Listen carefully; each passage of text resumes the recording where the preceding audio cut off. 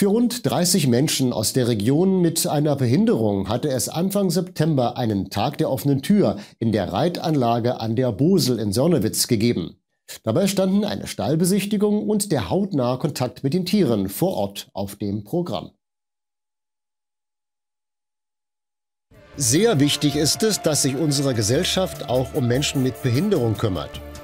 Für dieses Anliegen gibt es Einrichtungen, die sich mit genau diesen Menschen aufopferungsvoll beschäftigen. Behinderten soll die Möglichkeit gegeben werden, zu arbeiten oder ganz einfach etwas Praktisches zu tun. Dies geschieht unter anderem in den Werkstätten des Deutschen Roten Kreuzes in Meißen, einer Arbeitsstätte für Menschen mit Behinderungen. Für Ausflüge oder eine Art Wandertag ist dann aber oft kein Geld vorhanden. Der Besuch der Sonnewitzer Reitanlage an der Bosel wäre kaum möglich gewesen, wenn man dort nicht sehr entgegenkommend gewesen wäre.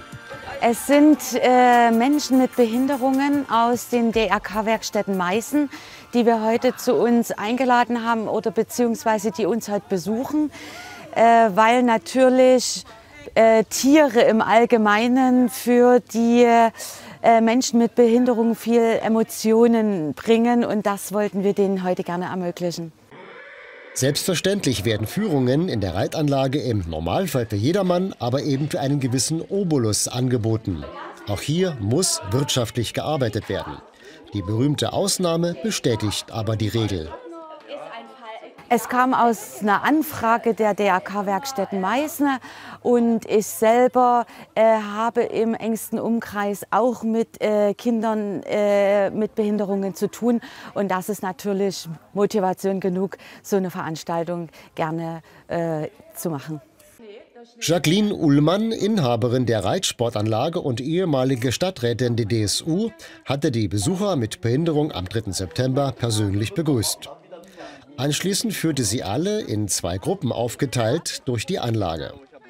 Alle durften sicher sehr dankbar gewesen sein, einmal zu sehen, wie Pferde untergebracht sind.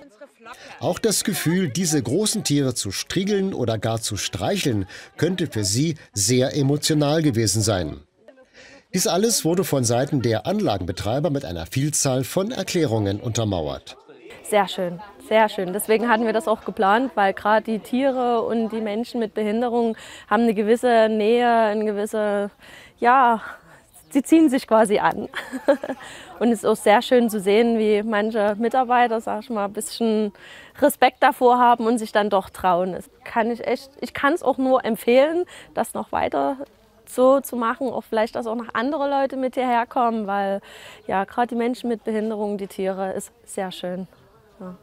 Zu Hause sind diese Menschen unterschiedlichen Alters mit Behinderung hier unmittelbar in der Region. Tagsüber werden sie liebevoll von den Mitarbeitern der DRK-Werkstätten betreut, mit dem Ziel, die Persönlichkeit der behinderten Menschen weiterzuentwickeln und ihre Beschäftigung zu ermöglichen bzw. zu sichern. Sind aus dem Umkreis Meißen oder halt auch außerorts und ähm, manche hier schwerst mehrfach behindert oder äh, psychisch behindert, geistig behinderte. Ja, so okay. eigentlich alles, wer kleine Mängel, sage ich mal, hat. Von Seiten der Anlagenbetreiber musste man natürlich schon aufpassen, dass gerade bei diesem Besuch nichts passiert. Doch man war dabei eher gelassen. Es ist genau äh, das, was man immer denkt oder was die Eltern auch immer denken. Äh, die Pferde sind groß und äh, tun den Kindern was, aber es ist eher das Gegenteil. Äh, Pferde sind sehr genügsam, sind sehr liebevoll und wollen dementsprechend auch so behandelt werden. Und Kinder können das immer hervorragend und auch äh, äh, Menschen mit Behinderung sind in dieser ganzen Sache hervorragend und deshalb sind wir von vornherein davon ausgegangen, dass nichts passieren wird. Äh, derzeit äh, werden die Pferde jetzt geputzt von den Menschen mit Behinderungen und es ist einfach toll anzusehen, wie äh, beides dort miteinander funktioniert. Zum Abschluss des Ausfluges durften sich alle noch genüsslich niederlassen, um ihr mitgebrachtes Mittagessen einzunehmen.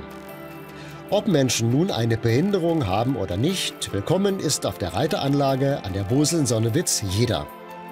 Anmelden kann man sich dort ganz problemlos jederzeit per E-Mail mit einem Anruf oder man versucht es ganz einfach bei einem spontanen Besuch.